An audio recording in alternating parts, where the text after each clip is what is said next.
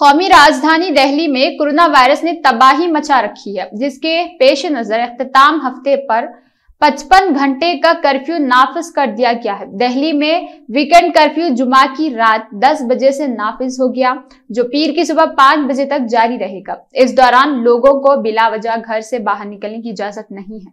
तहम ज़रूरी कामों के लिए बाहर निकला जा सकता है। ज़रूरी और हंगामी खदमात पर मामूर अफसरान और मुलाजमीन को वीकेंड कर्फ्यू के दौरान अपनी दुरुस्त शिनाख्त ज़ाहिर करने पर कर्फ्यू से मुश्तना रखा जाएगा। मरकजी हुकूमत इसके मातहत दफातर और अवामी शोबे के इदारों के अफसरान भी अपने शिनाख्ती कार्ड ज़ाहिर करने के बाद सफ़र कर सकेंगे। दहली में दीगर ममालिक के सिफारतकारों के दफातर में खदमात अंजाम देने वाले अफसरान और मुलाजमीन को भी कर्फ्यू से इज्तना हासिल होगा। सुप्रीम कोर्ट, हाई कोर्ट और दहली की तमाम अदालतों के मुलाजमीन के साथ वकला अपनी दुरुस्त शिनाख्त अदालती इंतजामिया की तरफ़ से जारी करदा इजाजतनामा ज़ाहिर करके घर से निकल सकेंगे।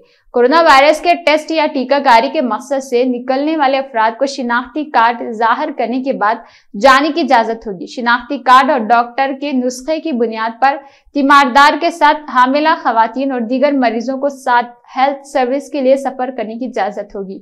तमाम तिब्बी एहलकार मसलन डॉक्टर्स, नर्सिंग स्टाफ, पैरामेडिक्स और अस्पताल की दीगर खदमात जैसे कि तशखीसी मराकज लेबर्स क्लिनिक और फार्मेसी, फार्मास्यूटिकल कंपनियाँ मेडिकल ऑक्सीजन सप्लाई करने वाले अमले को शिनाख्ती कार्ड ज़ाहिर करने पर जाने की इजाज़त होगी। हवाई अड्डों, रेलवे स्टेशनों, बैन, रियासती बस टिमिन से आने या जाने वाले मुसाफिरों को टिकट ज़ाहिर करने पर सफ़र करने की इजाज़त होगी। इलेक्ट्रॉनिक और प्रिंट मीडिया के अहलकारों को दुरुस्त शिनाख्ती कार्ड ज़ाहिर करने पर आने जाने की इजाज़त होगी। तलबा को इम्तिहान में शिरकत करने और इम्तिहानी ड्यूटी पर तैनात अमले को शिनाख्ती कार्ड, इजाजतनामा ज़ाहिर करने पर जाने दिया जाएगा।